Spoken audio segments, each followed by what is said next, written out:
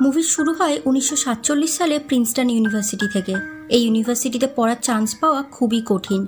এখানে সব বিশ্ববিখ্যাত বিজ্ঞানী, গণিতবিদ এবং লেখকেরা পড়াশোনা করেন। তবে জন ন্যাস একজন প্রতিভাশালী স্টুডেন্ট ছিল। সে স্কলারশিপ পেয়ে এই কলেজে ভর্তি হয়েছিল। যে কারণে তার মধ্যে একটু অহংকারও ছিল। সে ছোটবেলা থেকেই একা একা থাকতেই বেশি পছন্দ করত। তার স্বভাবটাও ছিল শান্ত প্রকৃতির এই জন্য তার কোনো বন্ধুও ছিল না। কলেজে তাদেরকে ওয়েলকাম করার জন্য একটি পার্টি অর্গানাইজ করা হয়েছিল, যেখানে তার সাথে হ্যানসান নামের একটি স্টুডেন্টের পরিচয় হয়। সেও স্কলারশিপ পেয়েই সেখানে ভর্তি হয়েছিল। জন তাকে বলে সে তার রিসার্চ পেপার পড়েছে, কিন্তু তার মধ্যে কোনো কিছুই নতুনত্ব ছিল না। এই বলে সে নিজের রুমে চলে যায়। সে ঠিক করেছিল, এই রুমে সে একাই থাকবে। কিন্তু সেখানে থাকার জন্য চার্লস নামের আরেকটি স্টুডেন্ট চলে আসে। চার্লস সাহিত্য নিয়ে পড়াশোনা করছিল আর জন গণিত নিয়ে। তাদের দুজনের স্বভাবটাও একদম আলাদা ছিল। কিন্তু আস্তে আস্তে তারা দুজন খুব ভালো বন্ধু হয়ে ওঠে। জন চার্লসকে জানায় সে ক্লাসে গিয়ে ফালতু নিজের সময় নষ্ট করতে চায় না। কারণ বইয়ের মধ্যে যা কিছু আছে সেগুলো আগেই আবিষ্কার করা হয়ে গিয়েছে। আর সে নতুন কিছু আবিষ্কার করতে চায়। একদিন জন মাঠে কিছু পায়রা ঘুরতে দেখে ম্যাথমেটিক্যালি ক্যালকুলেট করতে থাকে তারা এরপর কোন দিকে যেতে পারে। সেখানেই তাদের ক্লাসের কিছু স্টুডেন্টও ছিল। তারা জনের এমন ব্যবহার দেখে হাসাহাসি করতে থাকে। তাদের মধ্যে হ্যানসান নামের সেই স্টুডেন্টটিও ছিল যে তার মতো স্কলারশিপ পেয়ে এখানে ভর্তি হয়েছিল। হ্যানসান তার সাথে একটি বোর্ড গেম খেলতে চায়। তখন জনও রাজি হয়ে যায়। সে পুরোপুরি নিশ্চিত ছিল যে এই গেমটা সেই জিতবে। কিন্তু শেষ পর্যন্ত সে গেমটা হেরে যায়। সে মানতেই পারছিল না যে সে হেরে গিয়েছে। কারণ সে পুরো গেমটা ক্যালকুলেট করে খেলছিল। জন নিরাশ হয়ে সেখান থেকে ফিরে আসে।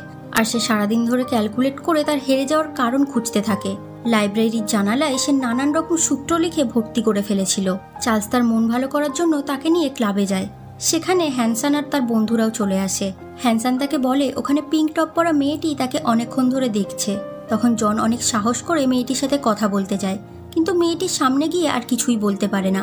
তখন মেয়েটি নিজেই জিজ্ঞাসা করে, তুমি কি আমার জন্য ড্রিঙ্ক কিনতে চাও? তখন জন তাকে সরাসরি জিজ্ঞাসা করে, সে কি তার সাথে রাত কাটাতে চাইবে? কারণ তার মতে আলটিমেটলি এটা করার জন্যই তারা এইসব করছে। তাই ফালতু কথা বলে সময় নষ্ট না করে আসল কাজটাই করা উচিত। এটা শুনে মেয়েটি প্রচুর রেগে যায় আর তাকে একটা চর মেরে সেখান থেকে চলে যায়। পরের দিন জন কলেজের প্রফেসরের সাথে দেখা করে। প্রফেসর তাকে জানায়, টিচাররা প্রত্যেকটি স্টুডেন্টের একটি করে রিপোর্ট কার্ড বানাচ্ছে, যেটা দেখে সবাইকে চাকরির প্লেসমেন্ট দেওয়া হবে। কিন্তু সে যেহেতু কোনোদিন ক্লাসেই যায়নি, এমনকি কোনো পেপারও পাবলিশ করেনি, তাই তাকে চাকরির প্লেসমেন্ট থেকে বাদ দেওয়া হয়েছে। এটা শুনে জন প্রফেসরকে অনেক অনুরোধ করতে থাকে, কিন্তু তাতে কোনো লাভ হয় না। জন দেখে টিচারদের ক্যান্টিনে একটি প্রফেসরকে পেন দিয়ে সম্মান জানানো হচ্ছে। সেটা দেখে অনেক প্রেরিত হয়। জন রুমে এসে তার সূত্র সমাধান করার চেষ্টা করতে থাকে, কিন্তু অনেক চেষ্টার পরেও সে কোনো ফল পায় না। তখন সে বিরক্ত হয়ে জানালার কাছে আঘাত করে নিজের মাথা ফাটিয়ে নেয়। এইসব দেখে চার্লস তাকে বোঝায় যে তার বাইরে গিয়ে সবার সাথে মেলামেশা করা উচিত, তাহলে সে সব কিছুর সমাধান পেয়ে যাবে। কিছুদিন পর জন আবারও ক্লাবে যায়। সেখানে তার বাকি ক্লাসমেটরাও ছিল, কিন্তু সেখানে গিয়েও জন তার নতুন আইডিয়ার উপর কাজ করতে থাকে। কিছুক্ষণ পর সেখানে মেয়েদের একটা গ্রুপ আসে। তার মধ্যে একটি মেয়েকে তাদের সবারই খুব পছন্দ হয়, কিন্তু মেয়েটি জনের দিকেই দেখছিল। তখন হ্যানসান সবাইকে বলে, মহান বিজ্ঞানী অ্যাডাম স্মিথ বলেছেন, কোনো প্রতিযোগিতায় প্রত্যেকটা প্রতিযোগী গুরুত্বপূর্ণ। তাই আমরা সবাই ওই মেয়েটার সাথে কথা বলার চেষ্টা করব। সে আমাদের মধ্যে থেকে যে কোনো একজনকে বেছে নেবে। তারপর বাকিরা তার বান্ধবীদের সাথে কথা বলার চেষ্টা করবে। জন কিছু একটা ভেবে সবাইকে বলে, অ্যাডাম স্মিথ, ভুল ছিলেন। তারা যদি সবাই একটা মেয়ের পিছনেই যায়, তাহলে তারা একে অপরের মাঝে চলে আসবে। তখন তারা কেউই তাকে পাবে না। এরপর যখন তারা মেয়েটির বান্ধবীদের কাছে যাবে, তখন তারাও তাদেরকে রিজেক্ট করে দেবে। কারণ কেউই সেকেন্ড অপশন হতে পছন্দ করে না। তাই তারা যদি আগে থেকেই মেয়েটিকে বাদ দিয়ে তার বান্ধবীদের সাথে কথা বলতে যায়, তাহলে আজ রাতে তারা সবাই জিতে যাবে। এই কথা শুনে সবাই অবাক হয়ে যায়, আর জনও তার অঙ্কের সূত্রের সমাধান পেয়ে যায়। সে তার পেপার রেডি করে প্রফেসরের কাছে আসে। প্রফেসর সেই সূত্র দেখে অবাক হয়ে যায়, কারণ তার এই সূত্র অ্যাডাম স্মিথের দেওয়া দেড়শো বছরের পুরনো একটি সূত্রকে বদলে দিতে চলেছিল। জনের এমন আবিষ্কারের পর প্রফেসর তার প্লেসমেন্টের ব্যবস্থা করে দেয় আর তার সাথে আরও দুজনকে নিয়ে যাওয়ার অনুমতি দেয়। জন সোল আর বেন্ডারকে তার সাথে নিয়ে যাবে বলে ঠিক করে, কারণ তারা দুজনেই ম্যাথমেটিক্সে খুব ভালো ছিল। এরপর পাঁচ বছর কেটে যায়। জন এখন আমেরিকার বিখ্যাত কলেজ এমআইটির প্রফেসর। একদিন তাকে একটি কোড অ্যানালাইজ করার জন্য আমেরিকার এক গুপ্ত সংস্থা পেন্টাগনে ডেকে পাঠানো হয়। তাকে এমন কিছু কোড দেওয়া হয় যার মধ্যে একটি মেসেজ লুকিয়েছিল। জন খুব সহজে কোনো খাতা পেন ছাড়াই সেই কোডটি ডিকোড করে দেয়। সে দূরে একটি লোককে দাঁড়িয়ে থাকতে দেখে যে তার উপর নজর রাখছিল। জন তার ব্যাপারে বাকিদের কাছে জিজ্ঞাসা করলে তাকে কেউ কোনো উত্তর দেয় না। এতে সে বেশ অবাক হয়, কিন্তু সে এতটা গুরুত্ব না দিয়ে কলেজে ফিরে আসে। জন কলেজের প্রফেসর হলেও তার ক্লাস নিতে একদমই ভালো লাগতো না। কিন্তু সোলার বেন্ডারে জোর করার ফলে সে ক্লাস নিতে যায়। সেখানে একটি মেয়েকে দেখা মাত্রই তার পছন্দ হয়ে যায়। জন সেই দিন রাতে যখন কলেজ থেকে ফিরছিল, তখন সে সেই লোকটিকে দেখতে পায়। যে লোকটিকে সে পেন্টাগনে দেখেছিল। লোকটির নাম পার্চার। পার্চার তাকে বলে সে একটি গুপ্ত সংস্থার হয়ে কাজ করে। আর তারা জনের উপর বেশ কিছুদিন ধরে নজর রাখছে। তারা জনের মতো একজনকেই খুঁজছিল। যে নিউজ পেপার আর ম্যাগাজিনে ছাপানো সিক্রেট মেসেজগুলো ডিকোড করতে পারবে। যার সাহায্যে তারা জানতে পারবে সোভিয়েত কোথায় এবং কীভাবে আমেরিকার উপর হামলা করতে চলেছে। পার্চার জনকে একটি সিক্রেট বাংকারে নিয়ে যায়, যেখানে বেশ কিছু লোক কাজ করছিল। তারা জনের হাতে একটি চিপ লাগিয়ে দেয়। সেই চিপে কিছু কোড দেওয়া আছে, যেটা কিছুদিন পরপর পাল্টাতে থাকবে। এরপর থেকে জন তার কাজে লেগে যায়। সে এই ব্যাপারে সোলার বেন্ডারকেও কিছু জানায় না। সে প্রতিদিন পেপার আর ম্যাগাজিন থেকে সিক্রেট মেসেজগুলো বের করে সেটি একটি খামে সিল করে দেয়। আর সেই খামটি পার্চারের বলা একটি বাংলোর মেল বক্সে রেখে আসতো। সেই বাংলোর গেটে ঢোকার সময় তার হাতে লাগানো সেই সিক্রেট কোডটা দিতে হতো। জনের মাঝে মধ্যেই মনে হতো কোনো সোভিয়েত এজেন্ট হয়তো তাকে ফলো করছে আর তাকে মেরে ফেলতে চাইছে। এই জন্য সে সবসময় ভয়ে ভয়ে থাকতে শুরু করেছিল। একদিন ক্লাসের সেই মেয়েটি জনের অফিসে আসে তার সাথে দেখা করতে। মেয়েটির নাম অ্যালিসিয়া। অ্যালিসিয়াও জনকে পছন্দ করত। তাই সে নিজেই জনকে ডিনারের জন্য ইনভাইট করে। কিছুদিন পর তারা একটি ডিনার পার্টিতে যায়। অ্যালিসিয়া এখানে খুব যত্ন করে জনের টাইটা ঠিক করে দেয় আর তার পকেটে নিজের একটি রুমাল রেখে দেয়। জন সেই দিন খুব খুশি ছিল, কিন্তু মাঝে মধ্যে সে চিন্তিত হয়ে পড়ছিল। তার মনে হচ্ছিল দুটো লোক তার উপর নজর রাখছে। তারপর তারা বাইরে এসে কিছুটা সুন্দর মুহূর্ত কাটায়। তারা একদিন বাইরে দেখা করলে জন অ্যালিসিয়াকে বলে দেয় সে তাকে কতটা পছন্দ করে। অ্যালিসিয়াও তার এমন সরলতা দেখে তাকে হ্যাঁ বলে দেয়। একদিন জন গার্ডেনে বসে কাজ করছিল। সেখানে তার সাথে তার পুরনো বন্ধু চার্লসের দেখা হয়ে যায়। জন তাকে দেখে খুব খুশি হয়ে যায়। চার্লসের সাথে তার ভাগ্নি মার্সিও ছিল। জন জানতে পারে চার্লসের বোন আর তার হাজবেন্ড মারা গিয়েছে। তাই এখন সেই তার ভাগ্নির খেয়াল রাখছে। জন চার্লসকে অ্যালিসিয়ার ব্যাপারে জানায়। জন বলে, সে ভাবছে অ্যালিসিয়াকে বিয়ে করে নেবে। এটা শুনে চার্লসও তাকে উৎসাহ দেয়। কিছুদিন পর অ্যালিসিয়ার জন্মদিনে জন তাকে প্রপোজ করে। আর অ্যালিসিয়াও রাজি হয়ে যায়। তারপর তারা বিয়ে করে নেয়। বিয়ের পরও জন তার কাজ চুপি চুপি চালিয়ে যায়। সে অ্যালিসিয়াকেও কিছু জানায় না। একদিন জন সেই সিক্রেট মেসেজ মেল বক্সে রাখতে যায়। তখন কিছু লোক তাকে মারার চেষ্টা করে। কিন্তু পার্চার ঠিক সময় এসে তাকে সেখান থেকে নিয়ে পালিয়ে যায়। পার্চার বলে সোভিয়েত এজেন্টরা তার ব্যাপারে জেনে গিয়েছে, তাই তারা তাকে মেরে ফেলতে চাইছে। জন এবার এতটাই ভয় পেয়ে গিয়েছিল যে সে এই কাজ ছেড়ে দিতে চাইছিল। কারণ অ্যালিসিয়া এখন প্রেগনেন্ট কিন্তু পার্চার তাকে বলে সে কাজটা ছেড়ে দিলে তারা তার কোনো রকম সুরক্ষার দায়িত্ব নেবে না। আর সোভিয়েত এজেন্টরা যেহেতু তার ব্যাপারে জেনে গিয়েছিল, তাই তাদের সাথে কাজ না করলেও তারা তাকে মেরে ফেলবে। এখন জনের কাছে আর কোনো উপায়ও ছিল না। সে ভয়ে সারাদিন ঘরে লাইট অফ করে বসে থাকতে শুরু করে। এমনকি অ্যালিসিয়াকেও তার বাবার বাড়িতে চলে যেতে বলে। কারণ তার মনে হচ্ছিল তারা অ্যালিসিয়াকেও মেরে ফেলতে পারে। কিন্তু অ্যালিসিয়া তাকে ছেড়ে যেতে রাজি হয় না। কিছুদিন পর জনকে হারওয়ার্ড ইউনিভার্সিটিতে একটি লেকচার দেওয়ার জন্য ডেকে পাঠানো হয়। তার লেকচার শোনার জন্য চার্লস আর তার ভাগ্নিও এসেছিল। জন তাদেরকে দেখে খুব খুশি হয়ে যায়। জন লেকচার দেওয়ার সময় দেখে কালো কোট পরা কিছু লোক তার দিকে এগিয়ে আসছে। সে বুঝে যায় এরাই সেই সোভিয়েত এজেন্ট, তাই জন তাড়াতাড়ি সেখান থেকে পালিয়ে যায়। কিন্তু লোকগুলো তাকে কিছুক্ষণের মধ্যেই ধরে ফেলে আর তাকে একটি ইঞ্জেকশন দিয়ে অজ্ঞান করে তাদের সাথে নিয়ে যায়। চার্লসের সব কিছু চুপচাপ দাঁড়িয়ে দেখতে থাকে। এদিকে জনের জ্ঞান ফিরলে সে দেখে তার হাত পা বেঁধে রাখা হয়েছে। একটি লোক এসে তাকে বলে, সে ডক্টর রোজেন। আর সে এখন মেন্টাল হসপিটালে আছে। কারণ তার মানসিক অবস্থা ঠিক নেই। কিন্তু জনের মনে হতে থাকে, এই সব কিছু সোভিয়েত এজেন্টদের প্ল্যান। জন লক্ষ্য করে, সেখানে একটি চেয়ারে চার্লস বসে আছে। সে ভাবে, চার্লসও তাদের সাথে হাত মিলিয়েছে। কিন্তু ডক্টর রোজেন বলে, এখানে কোথাও কোনো চার্লস নেই। জন তবুও তাকে বিশ্বাসঘাতক বলে চিল্লাতে থাকে। যে কারণে তাকে একটি রুমে বন্ধ করে রাখা হয়। আমরা দেখতে পাই এটা আসলেই একটি মেন্টাল হসপিটাল।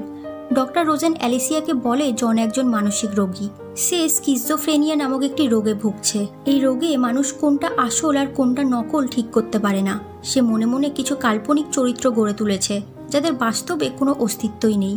ঠিক তেমনই পার্চার চার্লস আর পার্সি হলো তার কল্পনা। কারণ ডক্টর তার কলেজে খোঁজ নিয়ে দেখেছে, সেখানে চার্লস নামের কোনো স্টুডেন্ট ছিল না। এমনকি সে তার রুমেও একাই থাকতো।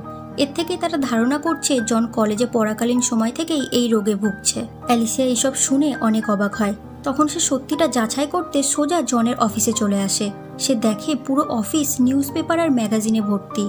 জনের সহকর্মীরা তাকে জানায়, সে এই কাজ বহু বছর ধরে করছে। আর তারা এই ব্যাপারে জানতে চাইলে জন বলতো, সে আর্মির হয়ে একটি সিক্রেট মিশনে কাজ করছে।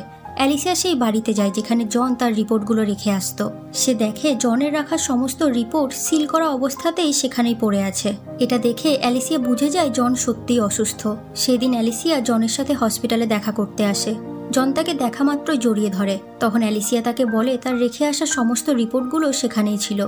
এই রিপোর্টগুলো কেউ নিতে আসেনি। সব কিছু তার মনের ভুল ছিল। এইসব শুনে জন রেগে সেখান থেকে চলে যায়। কিছুক্ষণ পর ডক্টর জনের রুমে আসলে দেখে সে তার হাত কেটে কিছু একটা খুঁজছে। ডক্টর তার এমন করার কারণ জিজ্ঞাসা করলে সে বলে পার্চার তার হাতে একটি চিপ লাগিয়ে দিয়েছিল। সে সেটা এখন আর পাচ্ছে না। জনের চিকিৎসা করার জন্য তাকে ইলেকট্রিক শক দেওয়া হয়। অ্যালিসিয়া তার এমন অবস্থা দেখতে পারছিল না। কিন্তু ডক্টর তাকে জানায়, এক বছর ধরে এই চিকিৎসা চালিয়ে যেতে হবে। এরপর এক বছর পরের ঘটনা দেখানো হয়। তাদের একটা ছেলে হয়েছে। জন এখন অনেকটাই সুস্থ। সে আর কাল্পনিক চরিত্রগুলোকে দেখতে পায় না। তবে এখন সে আর আগের মতো নেই। সে এতটাই অস্বাভাবিক হয়ে গিয়েছে যে এখন আর কোনো কাজই করতে পারে না। তার কলেজের চাকরিটাও চলে গিয়েছে। এদিকে অ্যালিসিয়া তার সব সুখ ত্যাগ করে জন আর তার ছেলের খেয়াল রাখে। বাড়ির এবং বাইরের সব কাজই একা সামলায়। এখন তাদের সম্পর্কটাও আর আগের মতো নেই। তারপরও সব কিছু ঠিকঠাক চলছিল। কিন্তু একসময় জন তার ওষুধ খাওয়া ছেড়ে দেয়। কারণ এই ওষুধ খাওয়ার জন্যই তার ভাবনা শক্তি কমে যাচ্ছিল। তবে অ্যালিসিয়া এই ব্যাপারে কিছুই জানতো না। একদিন রাতে জন আবারও পার্চারকে দেখতে পায়। পার্চার তাকে বলে, বাকি সবাই তাকে পাগল করার চেষ্টা করছে, কিন্তু সে সত্যিই আছে। পার্চার তাকে জঙ্গলের মধ্যে থাকা একটি ঘরে নিয়ে যায় আর তাকে তার কাজ আবারও শুরু করতে বলে। এর কিছুদিন পর জন নিজে থেকেই তার ছেলেকে স্নান করিয়ে দিতে চায়। এতে অ্যালিসিয়া খুব খুশি হয়ে যায়। সে বাইরে জামাকাপড় তুলতে গেলে দেখে তাদের বাড়ির পিছন গেটটা খোলা আছে। সে একটু এগিয়ে গেলে লক্ষ্য করে সেখানে একটি ছোট্ট ঘর আছে। ঘরটার ভিতর ঢুকলে অ্যালিসিয়া অবাক হয়ে যায়। সে দেখে জন আগের মতোই পেপার আর ম্যাগাজিন কেটে চারিদিকে লাগিয়ে রেখেছে। অ্যালিসিয়া বুঝে যায় জনের রোগটা আবারও বেড়ে গিয়েছে। সে দৌড়িয়ে তার ঘরে চলে আসে আর দেখে জন জানালা দিতে দিতে একা একাই কথা বলছে। এদিকে তাদের বাচ্চা আরেকটু হলেই জলে ডুবে যাচ্ছিল। জন বলে, চার্লস তার খেয়াল রাখছিল। সে তাদের বাচ্চার কিছু হতে দিত না। অ্যালিসিয়া তাড়াতাড়ি নিচে এসে হসপিটালে কল করে দেয়। তখন জন দেখতে পায় পার্চার অ্যালিসিয়াকে গুলি করে মারতে যাচ্ছে। জন তাকে বাঁচানোর জন্য পার্চারকে ধাক্কা মেরে ফেলে দেয়। তখন অ্যালিসিয়াও পড়ে যায়। অ্যালিসিয়া জনের এমন ব্যবহার দেখে ভয় পাচ্ছিল, তাই সে তার বাচ্চাকে নিয়ে সেখান থেকে চলে যেতে থাকে। এদিকে পার্চার তাকে বলতে থাকে, তাকে মেরে ফেলো। নাহলে সে আবারও তাকে মেন্টাল হসপিটালে পাঠিয়ে দেবে। তখন তার সামনে চার্লস আর মার্সিও চলে আসে। তাদেরকে দেখে সে কিছু একটা বুঝতে পারে আর দৌড়িয়ে গিয়ে অ্যালিসিয়াকে আটকিয়ে দেয়। সে অ্যালিসিয়াকে বলে, মার্সি এখনও একই রকম আছে।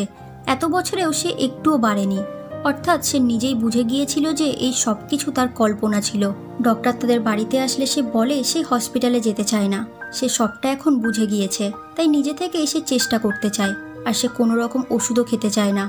কারণ ওষুধ খেলে তার ভাবনা শক্তি কমে যায়। অ্যালিসিয়া ঠিক করে সে তার পাশে থেকে তাকে ঠিক হতে সাহায্য করবে। এরপর দু মাস কেটে যায়।